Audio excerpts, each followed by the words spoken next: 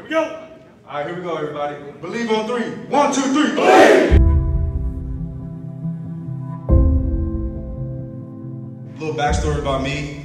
I graduated Howell Central in 2008. Um, then I went to Washburn University, and then I transferred to Lindenwood University. Um, I was uh, drafted by the Browns in uh, 2014. I played for the Browns. I played for the Chargers. I played for the Seahawks, uh, Colts, uh, Jets, and the Ravens. There's about um, over a million athletes um, in high school, and about 6.2% of those high school athletes go on to play college ball. And only 1% of those college athletes make it to the NFL.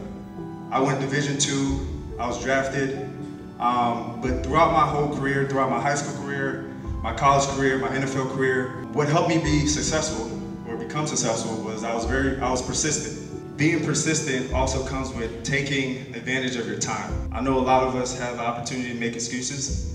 Um, excuses are everywhere, but opportunity is not. For me also, it's, you know, being able to sacrifice. I know there's many nights that my friends wanted to hang out, go out, but I was like, man, look, I, I got to do what I have to do. I got to, I got to get ready for college. I, I, my dream is to play in the NFL. This is what I want to do. And so I had to make a lot of sacrifices.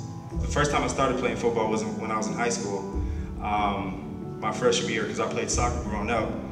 Uh, there was so many kids bigger than me, faster than me, stronger than me, um, and they knew they, they knew the game. And I didn't play the game growing up, but I worked hard.